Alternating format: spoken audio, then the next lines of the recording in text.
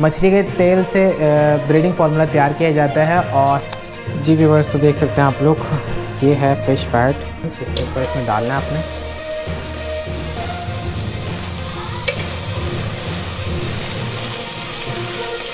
और एक certain temperature के ऊपर फ़िश ऑयल जो है वो रेडी हो चुका है। ऑयल का जो मिक्सचर है, वो उसमें मिक्स करूँगा और अगर आप एक किलो दाना हो तो उसमें एक चम्मच मिलाइएगा।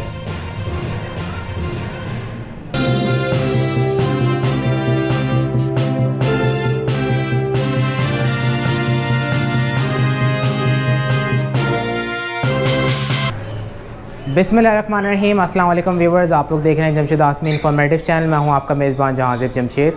आइए प्रोग्राम को शुरू करते हैं। अल्लाह के बाबर के नाम से देखने वाले हमारे तमाम व्यूवर्स को दिल की गहराइयों से अदाब और रिस्पेक्ट व्यूवर्स एक बार फिर से आपकी खिदमत में एक प्रोग्राम के साथ पेश हैं। हमने सोचा कि ना आपके साथ एक टिप शेयर किया जाए। यूँ तो लोग बहुत सारे मार्केटों से ब्रीडिंग फार्मूलाज लाते हैं, अपने बर्ड्स के ऊपर ट्राई करते हैं, फिर चेक करते हैं, बोलते हैं, नहीं, ये वाला फार्मूला ज़्यादा अच्छा है, ये वाला बेहतर है। कोई बताता है, मैंने वो वाला फार्मूला इस्तेमाल किया था, वो ज़्यादा बेहतर था। हमने सोचा इसी वजह से हमने एक टिप आपके साथ शेयर करने का सोचा कि आपके साथ एक ऐसी टिप शेयर किया जाए कि आप घर में बैठे भी ब्रीडिंग फार्मूला तैयार कर लें मार्केट से कुछ सामान ख़रीदने के बाद। तो बहुत ही आसान है, हमने सोचा कि आपके साथ शेयर किया जाए। कि घर बैठे आप लोग आसानी से ब्रीडिंग फार्मूला तैयार कर लें। ये तैयार किस तरीके से होता है? बेसिकली मछली के तेल से ब्रीडिंग फार्मूला तैयार किया जाता है और हमने सोचा कि ना ये तरीक़ेकार आपके साथ भी शेयर किए जाएँ। क्योंकि मार्केट में जो ब्रीडिंग फार्मूलाज आ रहे होते हैं, वो मछली के तेल की मदद से ही बनाए जा रहे होते हैं, उसी के ज़रिए से। मार्केटों में फार्मूले तैयार होते हैं नए नए फार्मूले आते हैं और लोग अपने बर्ड्स पर ट्राई कर रहे होते हैं। तो आज हमने सोचा कि ना आप लोग को बताएँ किस तरीके से आप लोग घर में तैयार कर सकते हैं और इसके और भी बहुत सारे बेनिफिट्स हैं मैं आपको लास्ट में बताऊँगा। सबसे पहले चलते हैं, आपको बताते हैं किस तरीके से आपने फार्मूला तैयार करना है। तो आइए मेरे साथ। जी व्यूवर्स तो देख सकते हैं आप लोग, ये है फ़िश फैट जिसे हम उर्दू में चर्बी भी कहते हैं, मछली की चर्बी है। इससे हम ऑयल निकालेंगे और इसी की मदद से हम हमारा ब्रीडिंग फार्मूला रेडी करेंगे। तो आपने क्या करना है एक बर्तन में इसको डालना है। यहाँ पर हमने एक बर्तन रखा हुआ है गरम। इसके ऊपर इसमें डालना है आपने।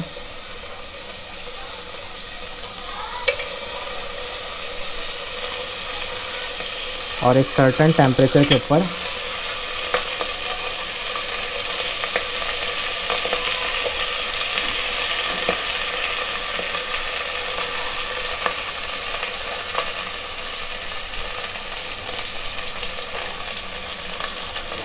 तो वीवर इसको एक सर्टन टेम्परेचर देना है, जिससे इसका जो ऑयल है, चर्बी का फ्राइड का, वो निकलना शुरू हो जाए और अभी इसका चर्बी का जो ऑयल है, वो निकलने का अमल शुरू हो चुका है। देख सकते हैं आप लोग। इसी तरीके से आपने इसको बिल्कुल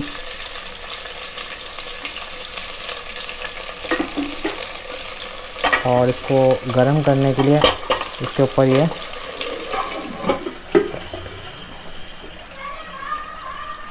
अब इसको थोड़ी देर के लिए छोड़ देंगे। जब इसमें से मुकम्मल तौर पर प्रोसेस कंप्लीट हो जाएगा, फिर आपको दिखाएँगे। जी व्यूवर्स तो देख सकते हैं 10 मिनट के बाद किसी कंडीशन जो फैट था फ़िश का, वो पूरी तरीके से हल हो चुका है। और इसमें से देख सकते हैं कि ऑयल निकलना शुरू हो गया फ़िश का। और ये मुकम्मल तौर पर ख़त्म हो जाएगा, इसमें से ऑयल निकल जाएगा। उसके बाद फिर हम इसको बताएँगे किस तरीके से आपने इस्तेमाल करना है बर्ड्स के लिए। तो वीवर्स बॉयलिंग का प्रोसेस कंप्लीट हो चुका है। अब हम इसमें से ऑयल को सेपरेट करेंगे। देख सकते हैं आप लोग कि ये कंप्लीट हो चुका है और काफ़ी अमाउंट में हमें नज़र आ रहा है कि काफ़ी ज़्यादा हमें ऑयल हासिल हो चुका है इस चर्बी से। इस फ़िश इस फ़िश फैट से तो अब इसको सेपरेट करते हैं।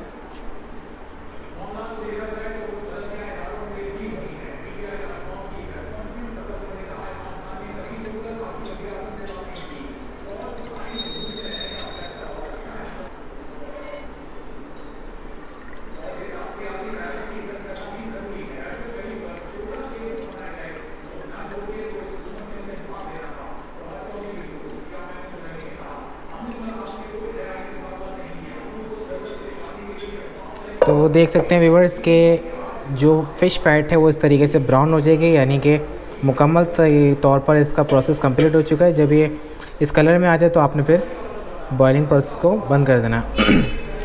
तो देख सकते हैं व्यूवर्स के फ़िश ऑयल जो है, वो रेडी हो चुका है।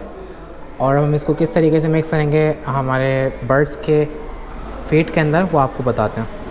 तो व्यूवर्स देख सकते हैं, यहाँ पे हम लोग बर्ड्स के दाने में इसको मिक्स करेंगे ब्रीडिंग फार्मूले को जो हमने अभी तैयार किया है। और देख सकते हैं कि हम तिल जो है, तिल में मिक्स करेंगे। और दाने की क्वांटिटी के हिसाब से आपने मिक्स करना है, क्योंकि यहाँ पे हमारे पास तिल कम क्वांटिटी में तो मैं हाफ़ टी स्पून जो है, वो ऑयल का जो मिक्सचर है, वो इसमें मिक्स करूँगा। और अगर आप एक किलो दाना हो तो उसमें एक चम्मच मिलाइएगा, ठीक है? इसके बाद अच्छी तरीके से आपने इसको मिक्स कर लेना।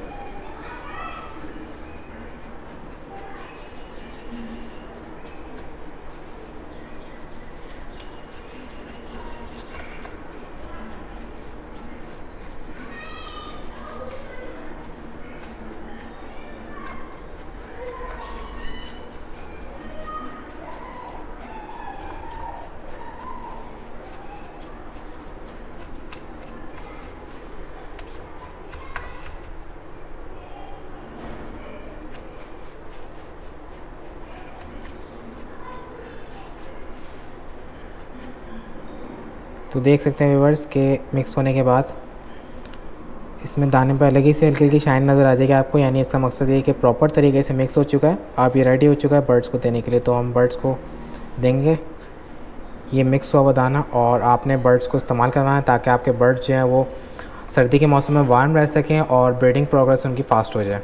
तो वीवर्स तिल के अंदर हमने अच्छे तरीके से ब्रीडिंग फार्मूला जो भी हमने प्रिपेयर किया था, उसको मिक्स कर दिया है। इस तिल को आप कनेरी के दाने के साथ भी मिक्स करके दे सकते हैं बर्ड्स को, और इसके अलावा आप लोग लाल चावल मिक्स करके कनेरी जो जावा वगैरह खाते हैं, उनको भी दे सकते हैं, और इसके अलावा मुख्तलिफ़ बाजरे वगैरह मिक्स करके दिया जा सकता है।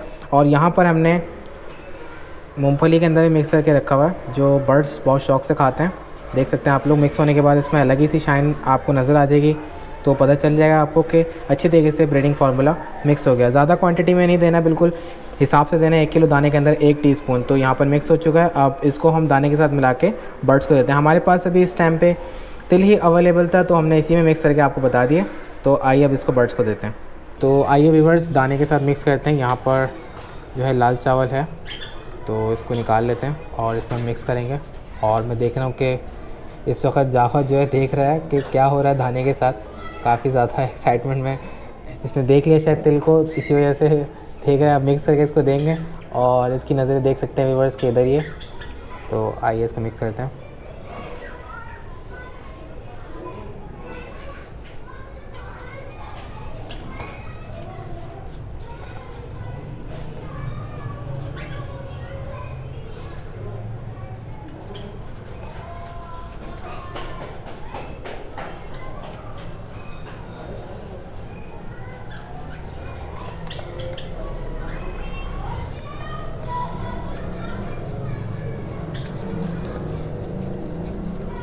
तो दाने के साथ हमने इसमें मिक्स कर दिया है। आप ये बर्ड्स को देते हैं, देखते हैं, शौक से खाएँगे।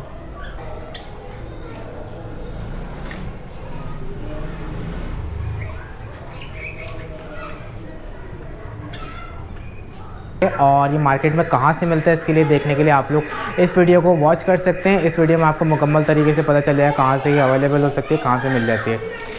अच्छा बहुत आसान तरीका है, लेकिन आप लोग को बता दूँ कि जब भी आप लोग ये अमल करें तो किसी ऐसी जगह पर करें, क्योंकि इसमें काफ़ी ज़्यादा स्मेल होती है। किसी ऐसी जगह पर जहाँ पर वेंटिलेशन किसी ऐसी जगह पे करें व्यूवर जहाँ पे सर्कुलेशन ज़्यादा हो या छत के ऊपर आप लोग कर सकते हैं इसको। तो वहाँ पे इसको तैयार करें तो ज़्यादा बेहतर है, क्योंकि काफ़ी ज़्यादा स्मेल होती है। जब हम चर्बी डालते हैं और प्रोसेस अमल होता है तो उससे काफ़ी ज़्यादा स्मेल होती है। तो मैं आप लोगों को ये कहना चाहूँगा कि आप लोग किसी ऐसी जगह पे इसको तैयार किएगा जहाँ पे सर्कुलेशन ज़्यादा हो। तो व्यूवर्स ये थी एक लेटेस्ट टिप जो आपके साथ शेयर करिए आज हमने ब्रीडिंग फार्मूला घर में तैयार किया किस तरीके से तैयार किया आपने मुकम्मल वीडियो में देख लिया होगा। आप लोग फ़िश फैट परचेज़ करें और इसको एक सर्टन बॉइलिंग टेम्परेचर देंगे तो उसमें से फ़िश का जो ऑयल है वो निकल जाता है। अच्छा ब्रीडिंग फार्मूले में ज़्यादातर फ़िश का ऑयल इस्तेमाल करते हैं, थोड़ी बहुत एक्स्ट्रा चीज़ें लोग मिलाते हैं, लेकिन आपके सामने हमने फ़िश ऑयल निकाला है, ये प्योर है और इसमें हंड्रेड परसेंट आपको रिज़ल्ट मिलेंगे।